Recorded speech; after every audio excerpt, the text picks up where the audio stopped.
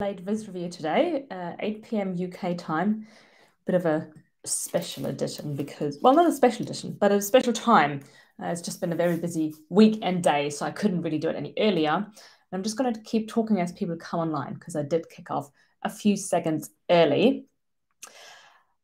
We're going to do the usual process, and I need to quickly set up my screen share and just quickly figure that out. Here we go. So let me turn that on. What are we looking at this week? We're looking at internet speed in Europe for Makeover Monday. Uh, this was the original visualization, which is a map. Maybe a quick bit of input on this map. So this is looking at download speed. The map is color coded. so it's a gradient color from a kind of light aqua blue to a very dark, rich almost like a oh I forget the name of it like a almost like a purpley blue. Uh, I I've, I can't quite think about it, but then we've got municipalities. There's other stuff going on. So there's a bunch of data, uh, but that's the data set. If you haven't done it yet, if you're new, if you're curious, data sets can be found on makeovermonday.co.uk slash data. Let me just check that this displays correctly. I think I need to make it a little bit wider kind of fill up the screen. And what we're going to do as usual is we're going to have you all jump in the chat, say hello, uh, say where you're dialing in from, and um, how you enjoying Makeover Monday now that it's back. We have been, this is now the fifth week of the return of Makeover Monday. So, yeah, let me know how you're finding it. Um, also, I'm assuming everyone can hear me and see me okay because we haven't had any comments suggesting otherwise. And let's head over to Twitter. I'm going to, maybe this time I'll start from the top. So looking at the most recent submission. And I'm going to skip the ones that are not from the current week. So we're not going back into previous weeks. We're just going to do the current week. Neckerman, his first time having a go with Makeover Monday. Excellent. Let's have a look. Um, on his Tableau public profile. So he's created this visualization. I'm just going to check the chat. Excellent. Tammy, good to see you online. Alan, hello from France. We've got Andrew from Syracuse, New York, and Metehan from, I don't know here, where? And somebody clearly from London. I, well, I'm not actually from London, but I'm dialing in from London. okay, so let's go back Oh yeah, I just literally I'm just pulling up yours. Sorry, uh, that's that's funny. I I guess your Twitter handle didn't say your name. So he created a tiled map for Europe using hexagon shapes. My first comment would be, and this is not to discourage these maps and experimentation at all. the best use for these tile maps are geograph- geographies where things are kind of like neatly divided up. Like you'll see it in the US that on the East Coast, where the states are much smaller, it kind of gets a bit jumbled up. But because the states are generally fairly chunky and they're kind of neatly divided, because it's a bit more of like, um, not is the, I don't know if the right was artificial deliberate lines that they made, you know, back in the days, rather than when you look at Europe where wars have changed the borders all the time. So countries have weird shapes. So it can be a bit tricky to find the right spot. So, for example, where Luxembourg is, is where I personally would put Germany because it's the center um, geography, uh, geographically speaking. And you know, and then Poland feels like really far away. And uh, so when you look at this, you don't recognize Europe as a shape. Whereas if you look at a, a US map in this style, you will recognize the US as a shape because it's just, it looks more like it. Um, so that would be my one piece of feedback on this. Now we have average internet latency.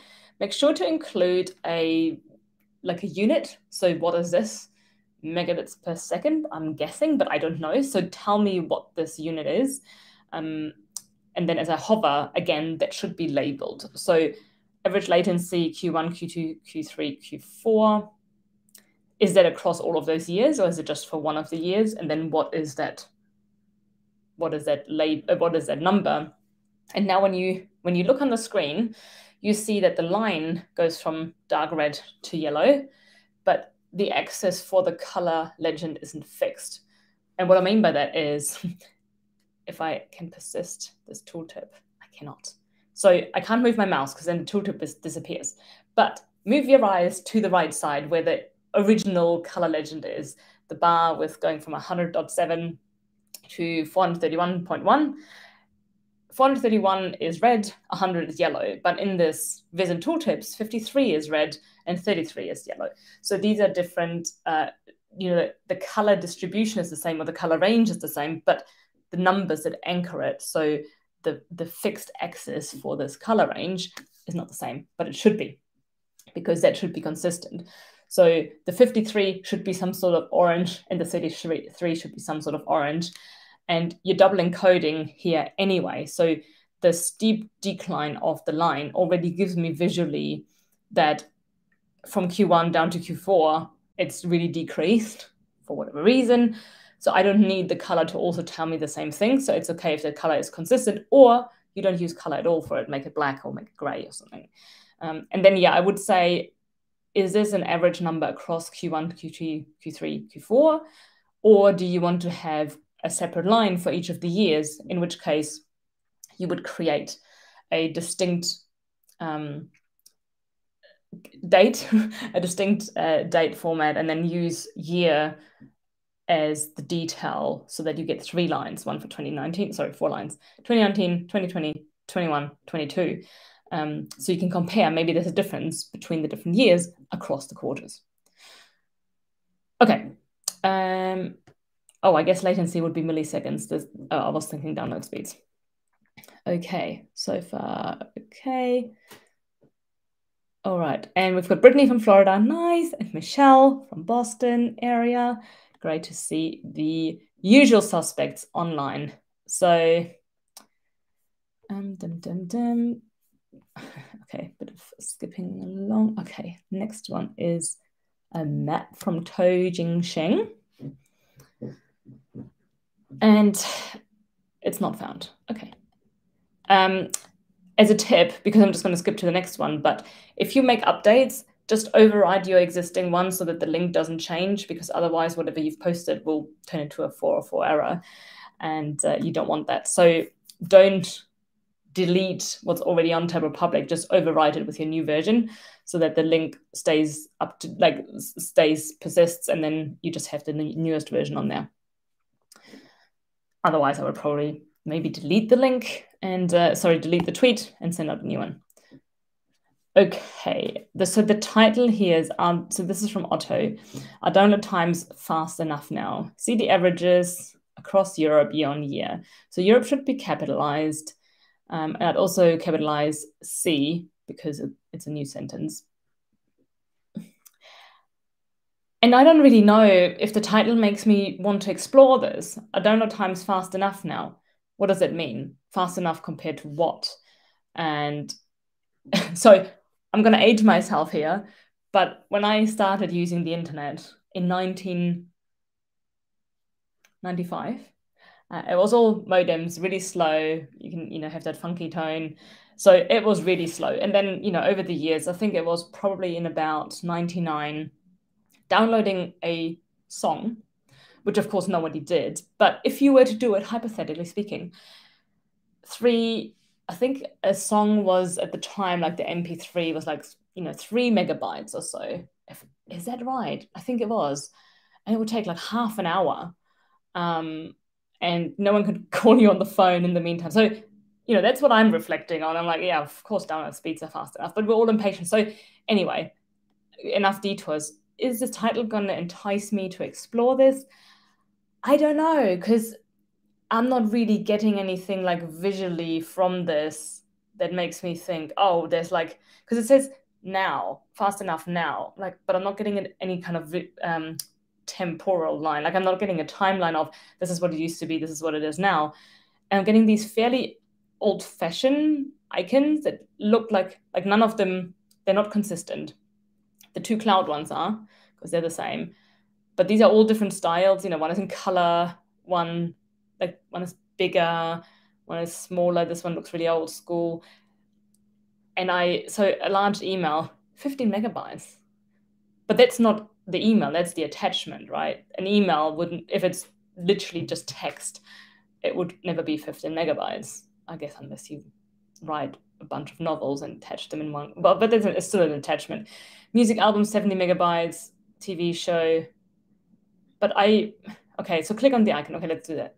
Email. So that's pretty fast, less than a second in most places. Germany not doing so well. um, that's pretty good. And we see what I like is that we see visually because of the colors, we see places that are over, I'm guessing, over 1.2. Well, we've got 1.3 here and 1.3 there, and I guess there's a decimal point that makes the difference in the color. Um, but we see the countries where it takes longer. But what's the what's the answer to the question? That's my biggest point here. If you ask a question in the title, you have to answer it, or you have to give people a strong enough indication of how they should answer it. I don't know if, you know, like if something takes less than a second, it's hard to argue it's slow because, I mean, a second is over very quickly. If I want to download a two hour movie in HD, so now, see, now we have a problem. What's 400 seconds? I have to do the math in my head and break it down to minutes to make it meaningful because I don't count in seconds once it goes over 90 seconds. Um, then it turns into minutes for me. So I don't really know what to do with this, quite frankly. So I would love, I love the idea that there is me driving this interactivity and me choosing something like, okay, how long is it going to take me to do this? You know, but maybe it could have more of a story. Maybe it could be you know, you're going on a flight across Europe. So you need a movie that's at least an hour, maybe even two hours, depending on where you're flying. How long, you know, how much time do you need to download this before you fly? Like if you're at the airport and you've got pretty sh- shabby Wi Fi, how long is it going to take? Like come up with something that's a bit punchier. Okay, that was a long, long winded answer. Um, so we've got so I'm trying to check the chat because I think Andy isn't online. Um, so Matthias, welcome. So great to see that you are checking this out as a German. Hello, hallo, guten Abend. Um, this is quite accurate. Yes, we have, um, and then we've got Tammy Brittany. Okay, there's a bit of chat going. I'm just trying to check if there's any questions because I have to flip back and forth with the windows. Okay. Um, let me move to the next viz. Uh, average internet speed. Okay, here we have small multiples and we have little line charts. Um, so I'm trying to um, look at different types of visualizations so we don't just look at maps or just the bar charts. First impression, don't know about you guys, but you're welcome to shout it out in the chat if you like, is the colors. Like it's quite hard on the eyes because we've got a dark background, but we also have an image in the background. So you see there's like a window with a giant cursor. Um, and then we have this really hot pink slash magenta on this dark background, but with this color stuff in, in the back. So it's too much going on for my visual perception here. I would say if you want to stick with the color theme, the one thing that is going to make this immediately better is removing the background image. So get rid of that window and cursor thing and just make it that consistent, really dark blue, the darkest, darkest color on that background and just make it a, you know, plain background. And then the grid lines being this turquoise as well, again, is something that's quite hard on the eyes. So maybe that could all be a bit more subtle. And I because the grid lines are everywhere, I don't really know which chart starts where. And like I can see the line where it starts and ends, but where's my axes? Like what's going on there? I would prefer getting rid of the grid lines. I would try that, getting rid of the grid lines, and then having very kind of minimalist. They can be very light but white so that they're nice and visible. Um, just a X and Y axis. They don't even have to be labeled necessarily because you've got your start and end labels here. But I would try that and see what that looks like because the grid lines are quite um, are quite hard. Now, one thing I don't understand is whether these are all so I mean 44, 43 and 42 are very close together. So I can't tell whether the axis is fixed properly and they all have a common axis. Because also here, 29 looks like it's almost the same as 40 and 36. Like, are they all individual axes with their different ranges? Or are they truly fixed to a common baseline? That would be interesting to know. Okay. Oh, we are we are seeing a lot of different types of visualizations. I like it. Um, okay. Michelle, that's great. yes, yeah. I I also think small multiples are great, and somebody who does that really well um, um, is Rob Radburn. He makes really neat small multiples, but they're typically really large. Like he might include all the different, well, not counties in the UK, but you know even smaller. Um, so you, you know he might have dozens of small multiples, but they're really typically really well done. Anywho, we have James Newton's viz, and I like that Tableau Public now. So if I scroll, well, I guess there's there's no scrolling required for the app for the viz, but I can now see at the top what the name is. Before that was always up there, and it would kind of disappear as you scroll down on the page. So James Newton's viz. Um, so we have this. Well, I would so I would call this a snail chart and I know it's not, but that's that's my name for it, given what it looks like. It's a bit like a starburst with I yeah. Does somebody have a technical term for this? Because I don't. Um, but I'm thinking like a prehistoric kind of um, stone thing. Um, yeah, again, don't know the English word. So, anywho, we're starting with okay, countries above or below the average internet download speeds so the average is somewhere between the UK and Germany. So does so being above the speed means being faster? I'm guessing, or is this slower? I'm guessing it's faster. Um, judging kind of by the names of the countries and and the map. So the map is it's useful because you see the distribution and having south like southeastern Europe and and the UK surprisingly actually because I've got good internet experience here and better than in Germany. But anyway, I'm just one person. So I think the map is useful for having the perspective of where are most of the orange countries and where are most of the blue countries. But the map is extremely small. And okay, so I, I can use the map, but I would make the map bigger so it fills as much of that circle as possible, even if it means you have to, because you know the the um, Canary Islands, you can't really include any like they're not they're not interactive. They're part of Spain. Um, but then Iceland, that would still fit. So I think I would just make that bigger. Now I want to go back to the title. So which countries are above or below the average internet download speeds across Europe? If there was a book title, would you buy it? Maybe that's a good question to ask yourself. Radial chart, that's the one. Um, thank you, Michelle. So if and it doesn't have to be, it doesn't have to be clever it should be clear it doesn't have to be punny funny um, a play on words but it should be something that encourages people to be like oh wow actually i'm curious about the answer to this question or i want to at least like look at what this thing is below what, what is this chart currently it wouldn't make me it wouldn't make me want to buy the book um, I'm trying to reword it in my head because I'm thinking that could be a, a useful segment of this Review, reworking titles kind of in real time, just to not just say, hey, we need better titles, but also what could some of these better titles sound like? Um, so it could start, it, it could even be two sentences. It could be, you know, um, internet download speeds across Europe vary, full stop it looks like I can't count the number of countries very quickly, but there are a number of countries above and a number of countries below. It could even be, you know, um, most well, most Western European, Western and Central European countries have. I don't know if I would go for above average anyway, um, because again, a, a thinking in above average or below average is a little bit.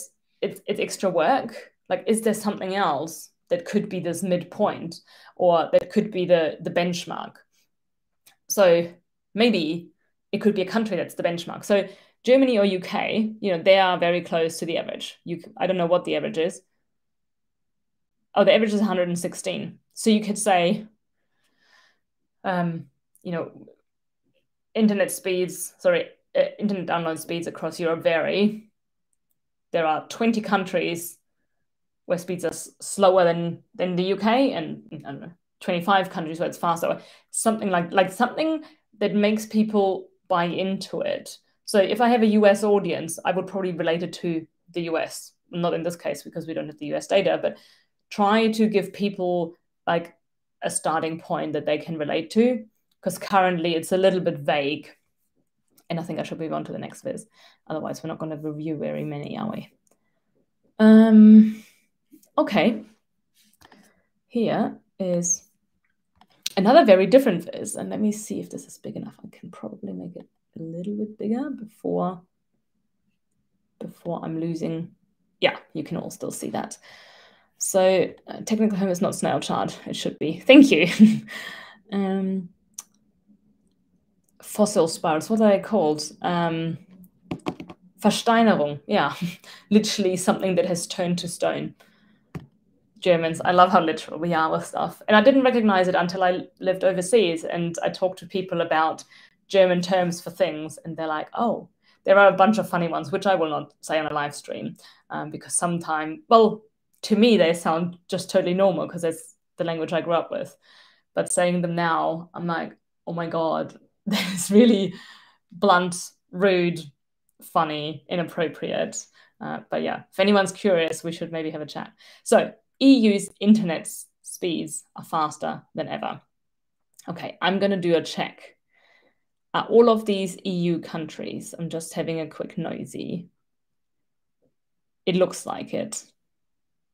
Okay, that's good. I was a bit worried because sometimes EU and Europe and is is in eurozone are kind of all getting mixed up, and it's it's good to be very accurate on that. Um, I think the start EU's internet speeds is a little bit clunky because if you say it out loud, EU's is hard to say, and you wouldn't really say it like that. You would maybe say internet speeds in the EU are faster than ever. But I like the title because it makes me think, oh, really? Faster than ever? Like there's a little bit of intrigue because there's a bit of a comparison, competitive element. So download speed on the way up. Upload speed also going up. So my understanding is if the things if the charts are shifting to the right they're getting things are getting faster and then latency which is the the delay is how i explained it in my head it should shift to the left because that's what you want so i i really like the, this this visualization um, I think the top part sells it for me. The bottom is a lot of detail, so I kind of have to take a bit more time to go through it. One thing I would add here is a little explanation of how to read the chart because some people might not fully understand how to read this. So, you know, for of course, for us, most of us, we would understand it shows the distribution of where the speeds were. So I'm just looking on the left column. You know, the distribution was lower on the spectrum and it kind of shifted over time. So now average speeds are higher and also as are maximum speeds. But say that, or even just say faster, you know, faster is better, or further to the right is better is faster, so that people are sure, because then they're like, oh, okay, so what does this actually show? But it doesn't really, I mean, it says distribution, but even that is probably sometimes a bit too specific or too technical for some people to understand. Okay.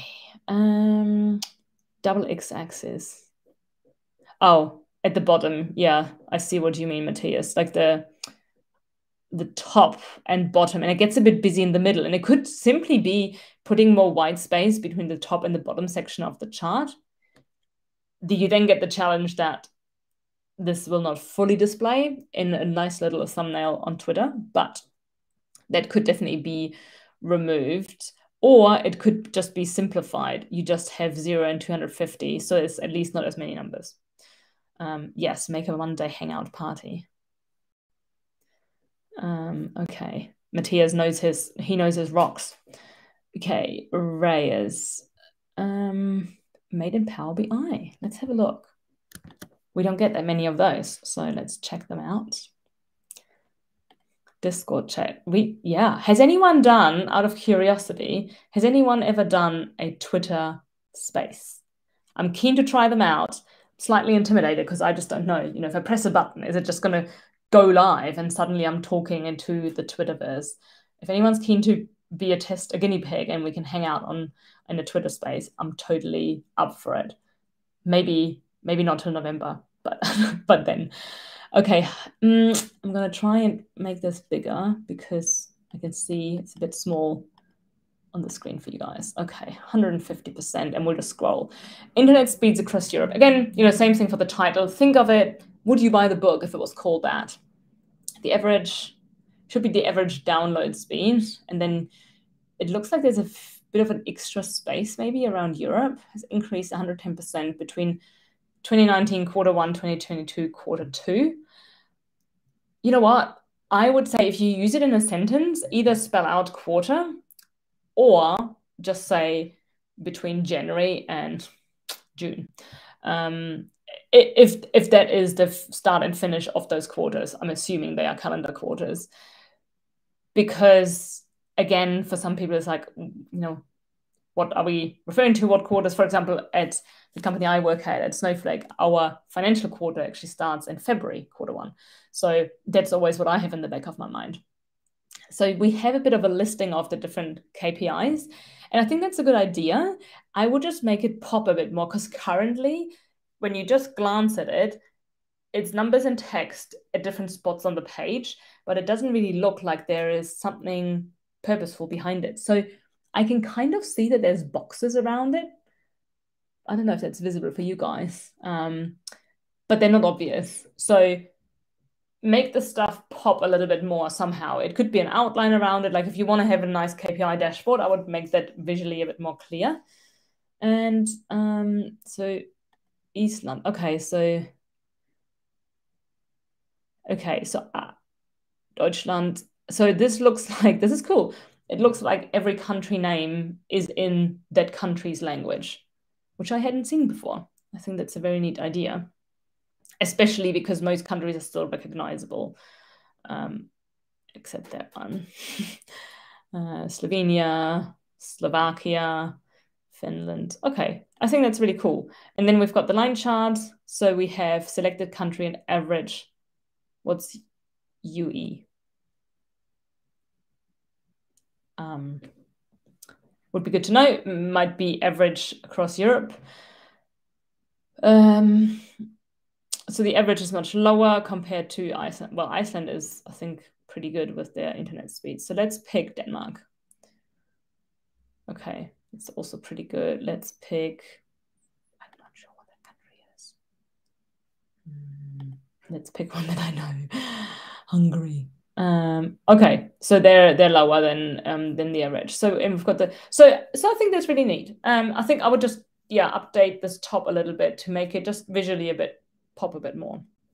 Okay, let me quickly check the chat. Twitter Space. Twitter Space is a bit like what was that thing called? That app where you had to get invited and it was only on on on Apple. Uh, that app that everyone wanted to be in. That yeah. Um, but it's basically it's just audio, so it's kind of like a radio show, I guess. But you can be on it and you can start talking.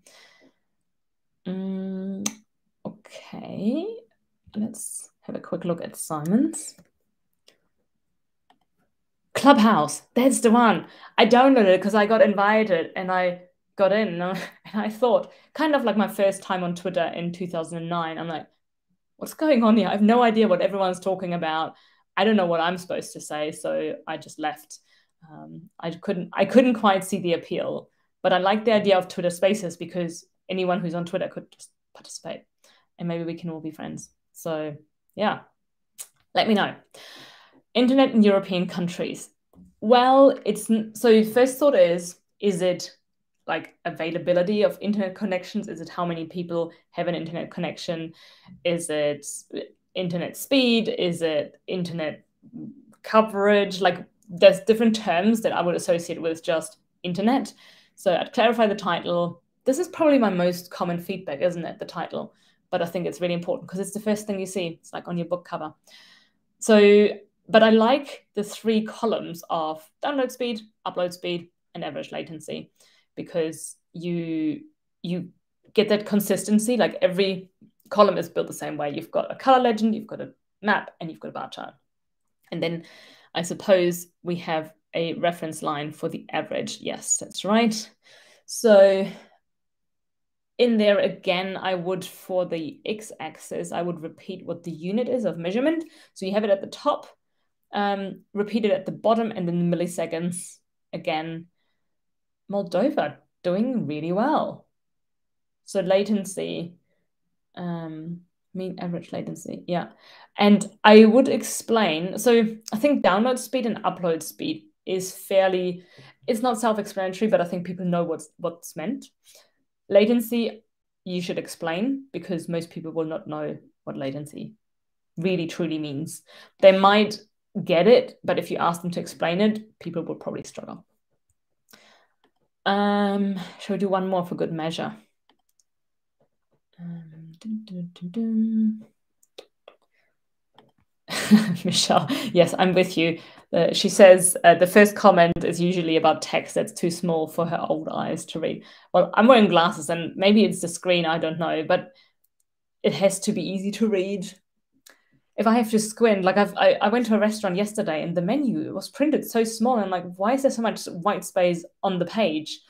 I know this is a first, first world problem, but don't make me squint. Like if somebody and he didn't have his reading glasses, he zoomed on his phone screen and he read on his screen on top of the menu. And I thought they could just print the menu in bigger font. Like there was plenty of space, or just make it A4. Like it, it doesn't have to be difficult. I think we've left the phase behind where every font was really small and just lowercase, and it was a this design trend like in the 2000s. And I think we need to just like make stuff easy, much like payments, right? If I want to spend money, I don't want to jump through hoops. It's like take my money, but make it easy. You know, Let me just pay like tap my card. Don't make me sign something or send an invoice. And equally, if you want me to read your stuff, like let me read it by making the text big enough. Big enough. Okay, one more. This one from Iris. Because I go in too many detours, but maybe it's the time of day, um, close to bedtime. Average download speed in Europe. This is by Iris. So um, now I totally get that for, um, and this is actually a good idea, to have Makeover Monday somewhere in the title because then you can easily have that in the name of your visualizations and in your Tableau Public profile. Like you can keep track on of things quite easily. And as you save the visualization, it will put in the file name as well. Like if you happen to, or, or if you're downloading a, an image and stuff. So I get that. It does make the title look a bit kind of messy. It makes it look a bit like a file name. So I would take it out of the actual title on the viz because that should be more of a hey, this is your invitation to check this out. Same feedback applies on the title as I've given so far. And I like that she's comparing just the most two the two most recent years.